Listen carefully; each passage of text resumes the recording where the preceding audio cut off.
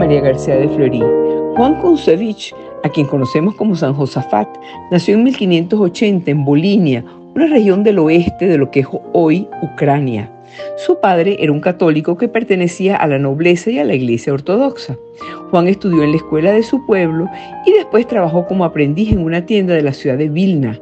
Empleaba sus tiempos libres aprendiendo el idioma eslavo eclesiástico para poder comprender mejor los divinos oficios religiosos y recitar diariamente el oficio bizantino.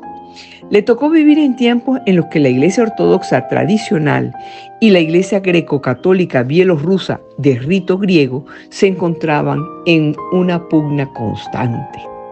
Josafat se integró al catolicismo y fue admitido en la Orden de San Basilio, junto con el monje José Benjamín Rutsky, que era un hombre muy culto y se había convertido del calvinismo al catolicismo, empezó a trazar planes para promover la unión y reformar la observancia en los monasterios de todo el lugar.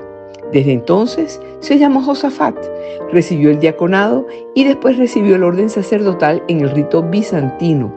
Pronto adquirió fama por sus sermones sobre la unión con Roma. Su vida personal era muy austera, hacía muchísimas penitencias y mortificaciones bien severas que en más de una ocasión le criticaron los mismos monjes. Se destacó por su especial atención a los más necesitados a lo largo de toda su vida. Josafat, este monje lituano-polaco, fue nombrado abad del monasterio de la Santísima Trinidad y bajo su gobierno el monasterio aumentó el número de monjes. Ello movió a sus superiores a retirarle del estudio de los padres orientales para que fundara otros monasterios en Polonia. En 1617, el padre Josafat fue consagrado como obispo y luego lo nombraron arzobispo de Polotsk, actual Bielorrusia. Eran tiempos turbulentos. El cisma siguió una herida abierta en el corazón de la cristiandad. Había muchos templos en ruina. La vida monástica estaba en decadencia. Se acrecentaba la crisis del clero secular católico debido a la presencia de sacerdotes casados. Como obispo, Josafat pidió ayuda a algunos de sus hermanos de la ciudad de Vilna y emprendió la tarea que tenía que hacer. Reunió sínodos en las ciudades principales, publicó e impuso un texto de catecismo, redactó una serie de ordenaciones sobre la conducta del clero y combatió la interferencia de los señores en los asuntos de las iglesias locales.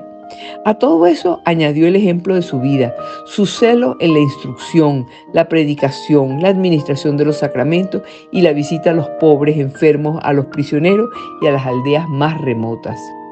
Lo conocían como el ladrón de almas, porque tenía un gran don de consejo y, hacía que las almas regresaran a Dios.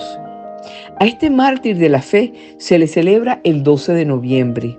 Josafat es considerado el patrono de la vuelta a la unidad entre cristianos ortodoxos y católicos divididos por un sismo histórico que clama por una reconciliación definitiva. Fue el primer santo de la Iglesia de Oriente canonizado como proceso formal en la Sagrada Congregación de Ritos. El Papa Pío XI lo declaró patrono de la reunión entre ortodoxos y católicos en el tercer centenario de su martirio, porque Josafat siempre buscó la unidad querida por Dios, consciente de que con Dios siempre ganamos.